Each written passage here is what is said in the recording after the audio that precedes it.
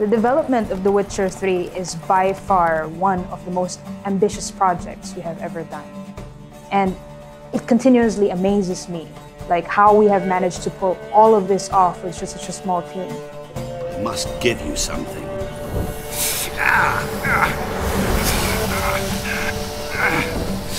What's that? A mark to show we're associates. If you think that playing The Witcher Wild Hunt is a memorable experience, imagine what making it meant for us. Carring, flaying, and quartering. A very positive aspect of working at CD Projekt Red is that your voice and your opinion, they really matter. In fact, everyone here is counting on it, on your own proactiveness in making this game better. There are countless examples of things that were added to the game thanks to suggestions in meetings or conversations in the corridor, even reading comments on internet forums. And of course, let's not forget that Gwent was born in a bathtub. Yeah. All of these people have been injecting their personal experiences into everything that they do. And it somehow shows, actually, in this creative art form.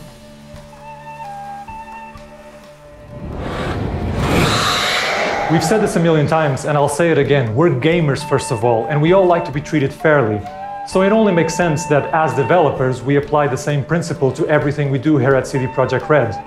You buying the game, it actually is a very big deal for us. It allows us to keep doing what we do best these big, vast role playing games.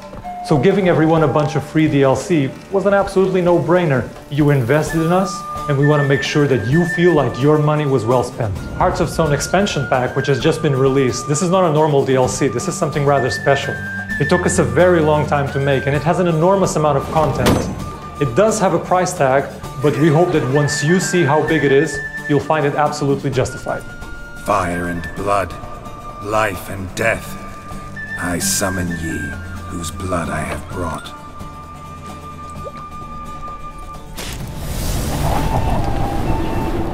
Hearts of Stone, this expansion, is not an additional quest. It's not an additional monster hunt. It's not a series of additional mechanics.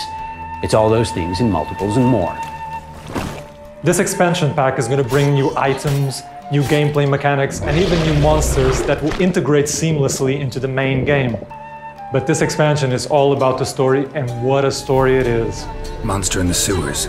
Know anything more? I've no clue what it is, only that it's deadly. I'd not have bothered had my cook not become its victim. Oh, the way she prepared game had no equal. It's a full and I think fascinating and fun story, or series of stories that rather nicely issue from and tie back into the main game. Geralt meets an immortal and gets a series of tasks that seem impossible at first, not least because they involve challenging combat and complex investigations. Gameplay that ties closely into the story. What's he guilty of? What the fuck's it to you? Not your concern, mate. And we give you the tools to meet these challenges and fight a number of new beasts. You get added items and an all new mechanic that lets you craft rune words and glyph words, both of which let you fine tune Geralt, his gear, and abilities. Oh, and take plenty of coin. I have a feeling it could come in handy. And the action, as always, will be richly varied. You'll revel with a ghost at a wedding, seeing both Geralt and his spectral companion through a series of interesting situations that provide the kind of comic relief seldom before seen in the franchise. Whoa, whoa, hold! Mean to go in wearing that? What else?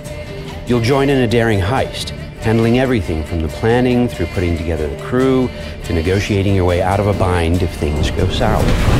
Please, don't do this to me. And you'll romance someone kind of new, if you so choose. Shani? Geralt? In something of a tip of a hat to those gamers who have been with the Witcher franchise since its inception. During production of The Witcher Wild Hunt, we estimated that players could easily spend over 100 hours in this game, and that actually turned out to be a very accurate prediction. For the Hearts of Stone expansion pack, we estimate that it will take you 10 hours, maybe more, and that is a lot of content. If you haven't bought this game yet, I honestly believe that you should ask your friends about it because no other person out there could describe this roller coaster ride that you're in for. Oh, and one more thing, guys. Like, we are still supporting the main game, so if you have any feedback whatsoever, please just go to our social channels and we would absolutely love to hear from you.